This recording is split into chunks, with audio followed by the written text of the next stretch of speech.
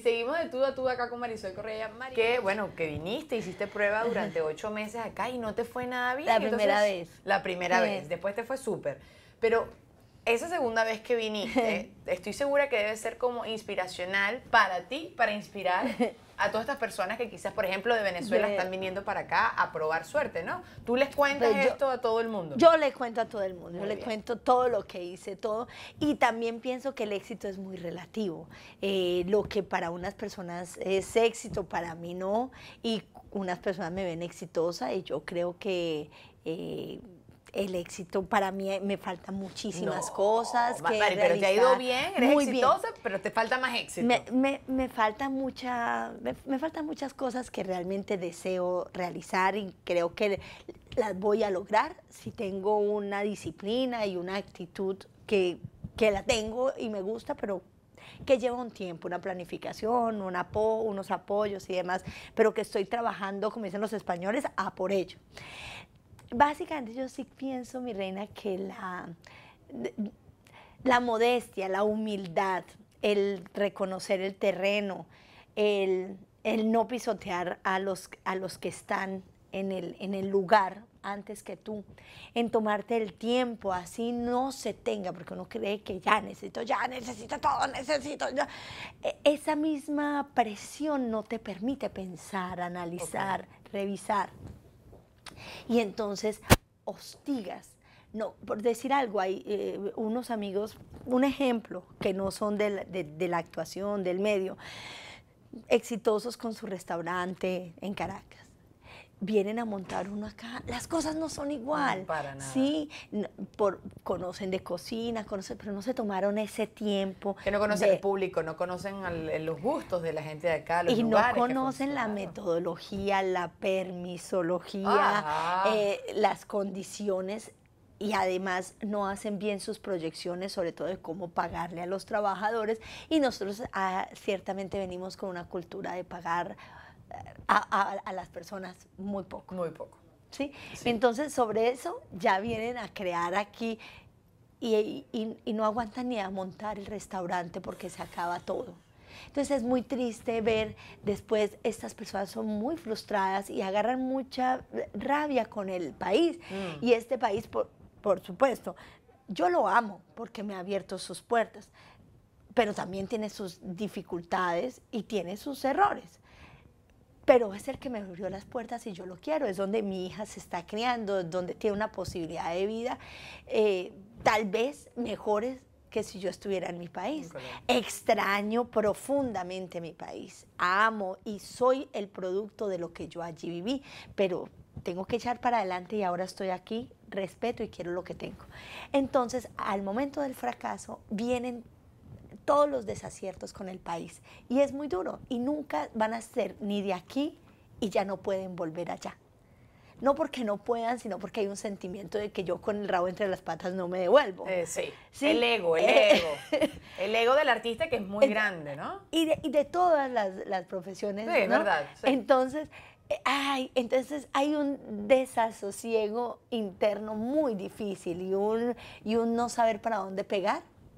Entonces yo por eso les digo siempre, por favor, por favor, tómese su tiempo, tómese su tiempo. A lo mejor no monte su restaurante o su empresa como la tenía ya. Incluso empiece en, un cargo como los que usted daba allá de mesero, de, de, lo que sea, conozca internamente cómo es el funcionamiento y seguro que usted va a encontrar una arista superior para poderlo realizar.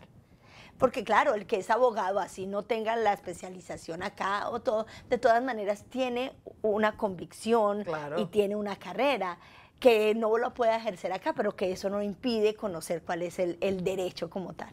Entonces, eso es básicamente mi consejo. Y para los actores, bueno, estos días yo hablaba con uno y decía, mira, mi rey, es que eh, tú me dices, dame trabajo, y yo más bien te digo, dame un proyecto. Claro.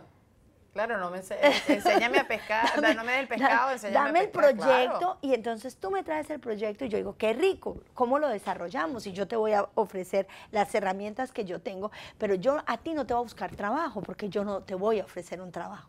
Más bien, si tú me traes una muy buena idea, la podemos realizar. Y con eh, tu experiencia y con el conocimiento que yo aquí he, adquirido, pues vamos a ver si logramos hacer una buena dupla y salir adelante. Exacto, un equipo y aprende todo el mundo al final. Mari, pero eh, tú me estabas contando fuera de cámara que empezaste tu carrera desde los 10 años en los pasillos de los canales. Sí. Tú ahí paseando, echando broma y te, metí, te fueron metiendo. Es que mi papá eh, era técnico, mi papá empezó en el canal del Estado como, como eh, señor que limpia los pasillos. Mi papá empezó a los 16 años a limpiar los pasillos de Inravisión, que era el canal del Estado. Eh, por circunstancias de la vida, mm, papi y mami se, separan de una manera no, muy convencional y, y, yo quedo con papá. Y cuando salía del colegio no, no tenía para dónde irme. Entonces yo me iba para, a esperar que mi papá saliera del trabajo.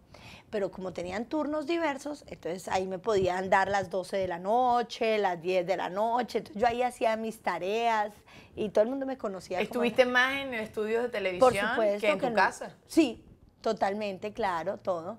Y además recogiendo el cable, subiendo la luz a la parrilla, todo. Hiciste lo, que le recomiendas a, los, a los dueños del restaurante, te metiste de una vez adentro del canal y viste todo. Entonces cada vez que necesitaban extras o quien gritara o quisiera bulla, lo que fuera, ¿dónde está la muchachita? Entonces me llamaban, a ver, aplauda. Y, y ahí fue.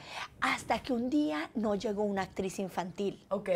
Y no llegaba la muchachita y me, me vieron, Mari, venga, diga esto. Y estuve muy de buenas, o tal vez ya había cogido el oído.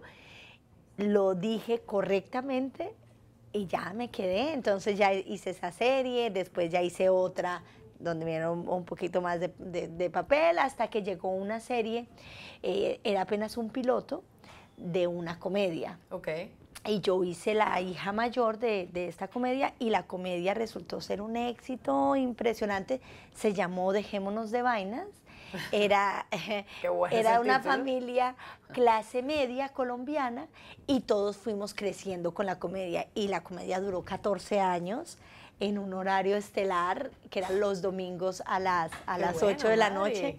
¿Tuviste Dejémonos de Vainas? Sí, hablando con la amiga que está acá atrás cámara. Todos los colombianos crecimos con Dejémonos de Vainas. Entonces yo fui la, hija, la hija mayor de, de, la familia Vargas, donde tenía papá, mamá, tres hijos al principio, luego tuvimos gemelos, el, el, el amigo costeño, eh, la empleada del servicio, la tía metiche. Entonces era como la radiografía de lo que pasaba. Y por ejemplo, en el país se iba la luz, en el programa lo demostraba. Pues o sea, era la familia que entraba, salía, ¡ay, se fue la luz! La realidad colombiana. La realidad colombiana. Y con eso crecí y ya, bueno, por eso fue que al terminar yo ya estaba haciendo mis pinitos de salida y, tuve dos, dos, la balanza estaba desequilibrada. Uno, porque soy muy agradecida por este programa, porque fui una actriz privilegiada de, tener trabajo constantemente 14 años. claro. Pero por el otro, eh, fue, era muy difícil convencer a otras personas, otros proyectos, una novela, que me llamaran porque ya me veían quemada con dejémonos de vainas. Claro, tú estás en ese punto de que, ay, necesitan una rubiecita que sea de tales características. Marisol Correa, no, no, no, ella no, ella están dejémonos de vainas. Entonces era por descarte que me iban sacando. ¿Y crees que es la mayor dificultad de un artista, de un actor? Porque lo he escuchado varias veces que te encasillan. Sí. Y sí crees, que te queman, que, te encasillan y ya te montan la cruz. Eh, sí.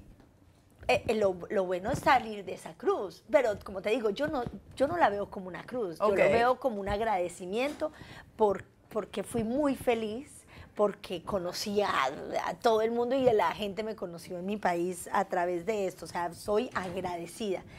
Em, pero sí fue difícil y creo que los puntos por los cuales salí, el que más me dio presión fue ese. Dije, ¿qué va a pasar de mí cuando ya no esté, dejémonos de arena? Y, y bueno, y por descarte no esté en otras producciones. A lo mejor me apresuré eh, en salir porque me, me asusté realmente, me asusté. Estaba joven, ¿no? ¿Qué, qué claro, también? en ese tendría ya, ya para ese momento tendría 28 años. Ok. Sí, Entonces ya creo que fue, fue un momento importante que fue cuando decidí venir. Y te viniste y fue, ahí fue cuando tuviste el Ajá. tropezón de los ocho meses. Y después ya, ya toda la vida eh, la tomé con más calma, empecé a conocer cómo era el ambiente teatral. No era mi propósito, ¿sabes? Al principio tener un teatro o algo así. Claro, eso es un sueño que uno tiene. Ah, sí. Claro, el, el sueño siempre está en un espacio, qué rico uno no estar en este sufrimiento, en un restaurante trabajando, eh, o, en, o en- o en un teatro donde no te brindan las facilidades, o peleando para que te hagan las cosas. Pero, pero como mi Dios me lo mandó así, es que tiene 430 butacas. Eh, está excelentemente localizado en pleno corazón de, de la pequeña Habana entrando a Coral Gables, eh, con todos los requerimientos que yo quería. O sea, te hiciste el espacio para tu poder hacer Sí. las obras de teatro que a ti te provoquen, es generar Sí. tus propias oportunidades. Totalmente, Ok. totalmente. Y se mueve y, y- y tenemos dos salas. Una que es esta grande de 430 y tenemos una pequeña alternativa que tiene eh, 100 personas, le cabe. Eh, ahí incluso ahora me presento yo, porque siempre quise tener temporada de teatro allí Ok. y, y no encontraba amigos que se quedaran en la sala. Se quedaban dos semanas, tres semanas, pero no, no, dije, pero yo tengo que demostrar que ahí sí se puede tener una temporada de teatro.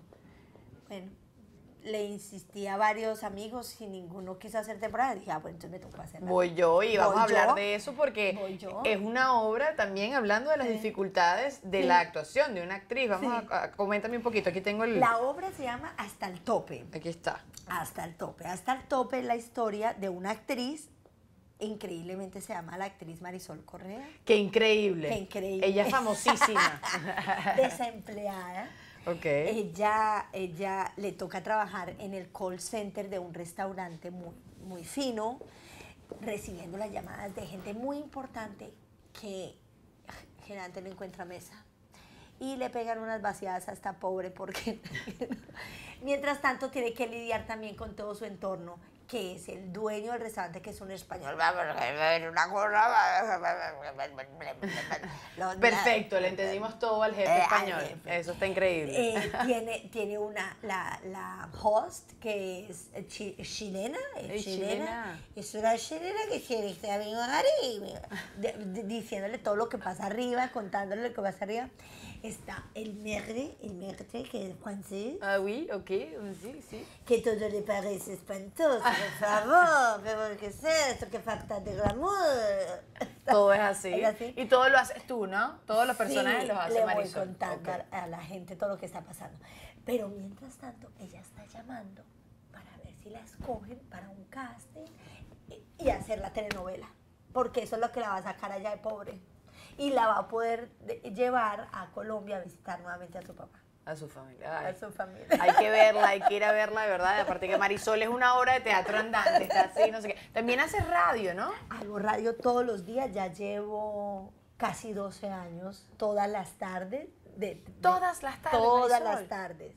Todas las tardes. ¿Y qué es? Un programa así de variedad. El programa se llama De Regreso a Casa. Ok. Es, es un programa muy divertido. Es- son noticias con humor. Eh, estamos, el grupo es el director que es Carlos Cataño, la productora que es Oneida Anturi, el escritor y talento que es Jairo Castro, a él le decimos chocolate, y estoy yo. Entonces, la noticia, por ejemplo, se genera de Venezuela. Carlos cuenta la noticia, cuenta que, por ejemplo, como esta semana, que Achatey eh, se fue, el programa, cerraron el sí. programa y tal. Cuenta la historia y llama a Tibisay. Y Tibisay es una corresponsal que habla. Ok. Y entonces Tibisay llama, Tibisay va contando toda la historia.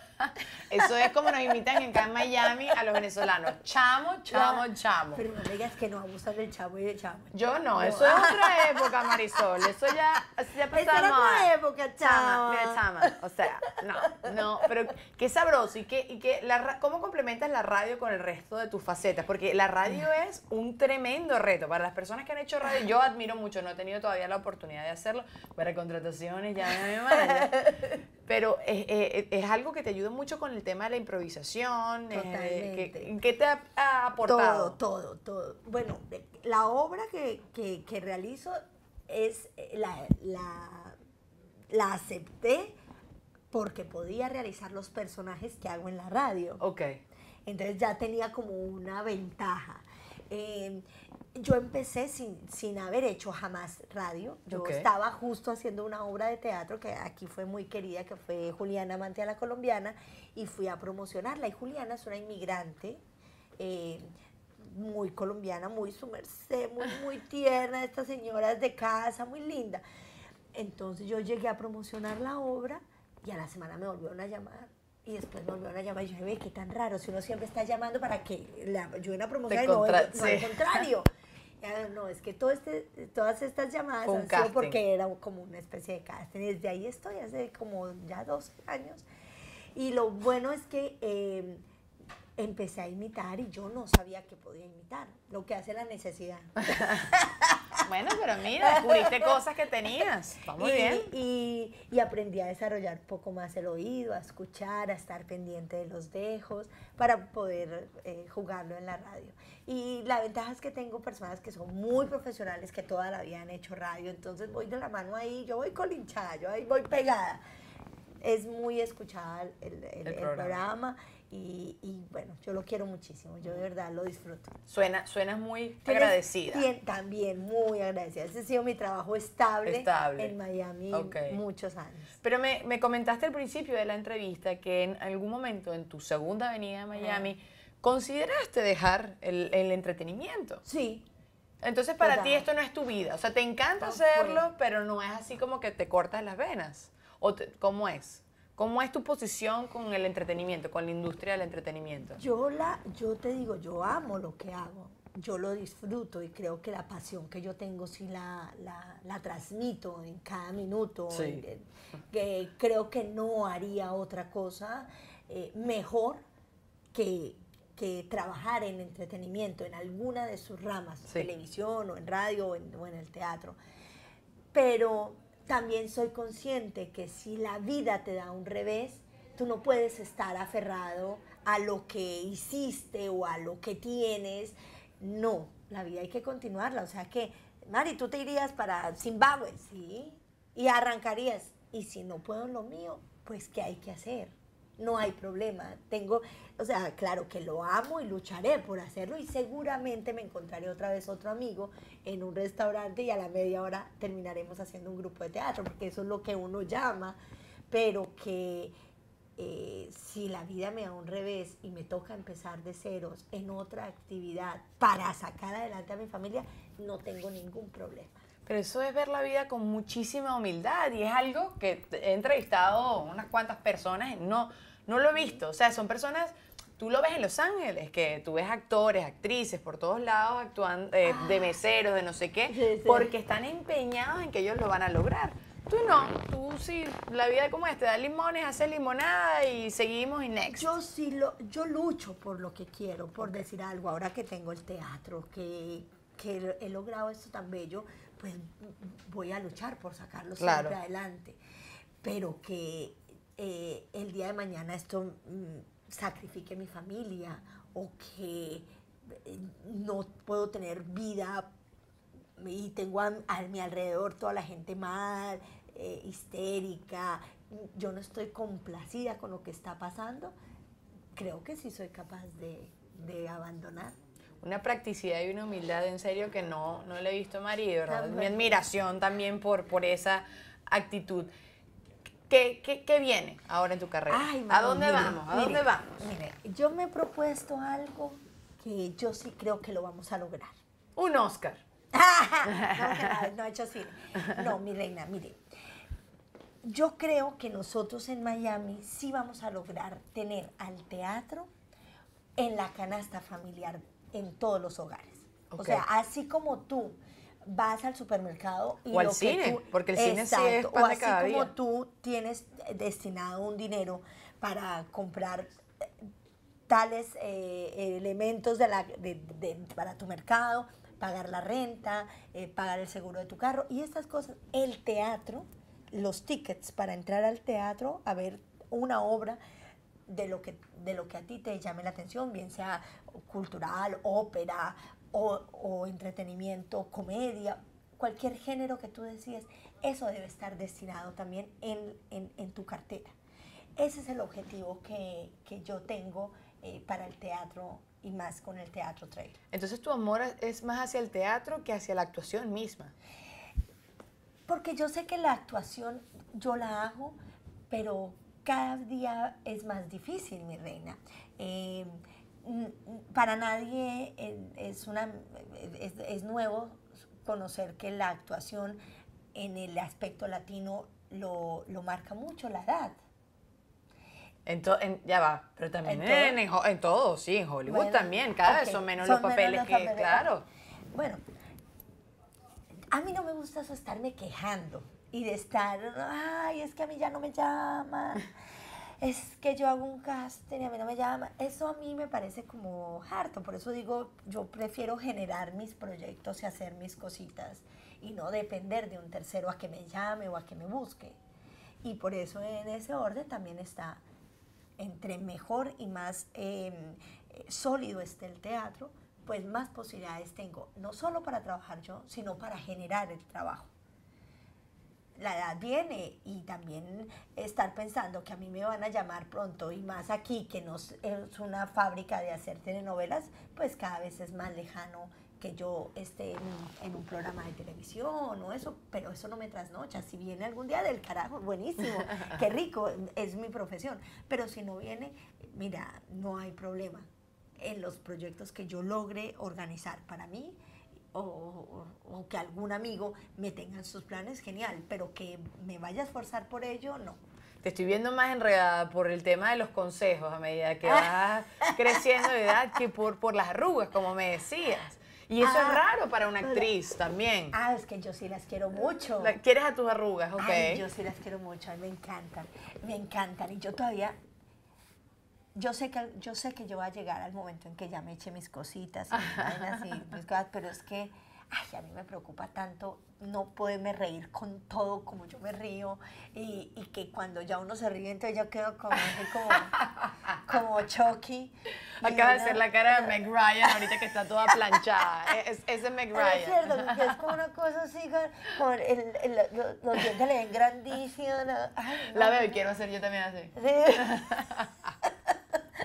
es verdad. Pero yo sé que mi, mi, vanidad allá llegará, porque yo eso no canto victoria, ay, que voy a estar dignamente, no, dignamente me voy a echar mis cositas, pero mientras tanto me, pues me cuidaré, nunca había hecho ejercicio y empecé a hacerlo. Eh, imagínate que me torcí, eh, se, se, me fue la cara para un lado hace... Eh, el año pasado, como, hace como nueve meses. Ay, Mari, ¿por qué? ¿Qué pasó? Pues tú le preguntas a cualquier persona y le dice uno, eso es el estrés, es que usted con el estrés que mantiene, es que usted tiene que parar, es estrés. Estrés, estrés. Me decían tanto que era estrés que yo me estaba estresando. me estresó que me, dijera que era estrés. estrés. Ok. Y entonces yo estaba así torcida, torcida, y yo fui al hospital, porque claro, puede ser un stroke. Claro, claro, claro. No, no era los neurólogos, eso es un virus que le entró al trigémino, que le paralizó la cara, pero eso en seis meses. En seis meses yo con él, con esta articulación que tengo, cuando fui al mesa donde el doctor dice, usted era la señora que estaba con razón. dije, doctor, es que a mí me empezaron a decir en el teatro es que yo era peón de ajedrez. ¿Cómo es? Porque caminaba de frente y comía de lado. Tuvimos que solucionar eso y me arreglé yo sola la boca. Tuve que solucionar eso, yo hacía ejercicio y todo. Es, eso, yo también pensé, dije, o sea, me tiene que dar una cosa así para que yo, para darme cuenta que hay una señal. Mi cuerpo no está bien, no está cómodo, algo está pasando. No es posible que yo tenga una tos y no me la cuide porque estoy tan ocupada que no voy al médico. Es más, sí podría ir al médico. Es pura eh, cosa de uno, de, ay, estoy, estoy mentira, uno sí tiene que tener tiempo para esas cosas.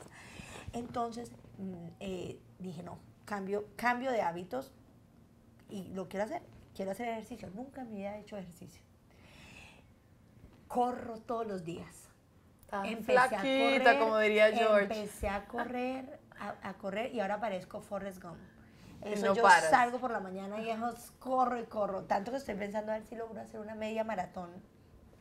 Qué bueno, Mari. Sí, sí. Viste, una arepa con todo. Lo tienes todo, Mari. Exitosa. Y tengo buen marido. Y tienes un buen marido. y Tienes Pero una hija no lo- que te yo no apoya lo muchísimo. promuevo mucho lo no, no, porque te lo tumban. me lo tumban. te lo ya me pasó una vez. Entonces Ay, yo no, no, yo no, no. hablo, es malo, malo, Es malo. es malo su marido.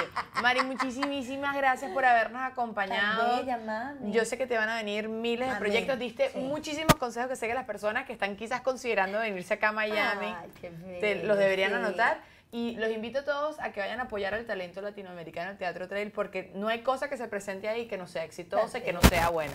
Y ahora vienen muchas cosas bellísimas en la cartelera. Viene, viene Franklin Virgües, viene Karina, Ay, viene Luis Fernández. Mucho venezolano. Mm. Eh, viene otra vez Luis Chatein. No, bueno, o sea que los espero siempre. conéctense entonces a través de la página web que ahí seguro sale toda la información. Trail. Gracias, Mario, otra Tan vez. bella. Esta es tu casa. Mi reina, ¿y usted cuándo va a participar en Miss Universo? Eh, ha- hablamos de eso, necesito una manager. Nos vemos entonces en una próxima entrega con más de tú a tú. Chao.